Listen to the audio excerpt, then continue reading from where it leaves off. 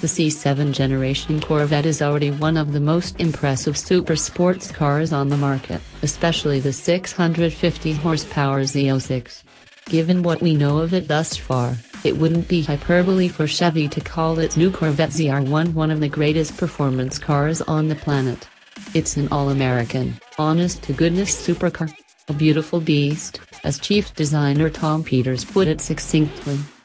Unveiled halfway across the world at a special event in the glamorous and amorphous Middle Eastern capital of a Dubai that's chock full of skyscrapers and mega malls, the fourth Corvette to wear the ZR1 badge is not only a standard bearer for Chevy, but for the Corvette brand as a whole. It's a nameplate with global appeal, and we're sure more than a couple of sheiks are going to snap up a few of the 2000 to 3000 ZR1's Chevy plans to build a year.